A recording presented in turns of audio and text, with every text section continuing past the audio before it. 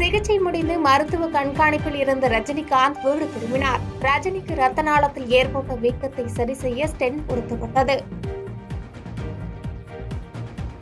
வங்காளம் மராத்தி பாலி அசாமி பராகிர் ஆகிய ஐந்து மொழிகளுக்கு செம்மொழி அந்தஸ்து வழங்கிட ஒப்புதல் அளித்தது மத்திய அரசு.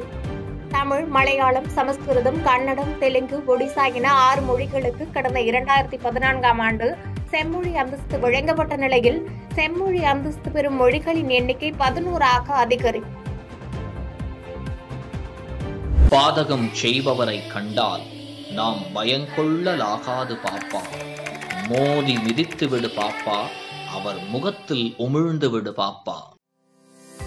அண்மை செய்திகளை உடனுக்குடன் தெரிந்து கொள்ள இணைந்திருங்கள் இயம்நாடு தொலைக்காட்சியுடன்.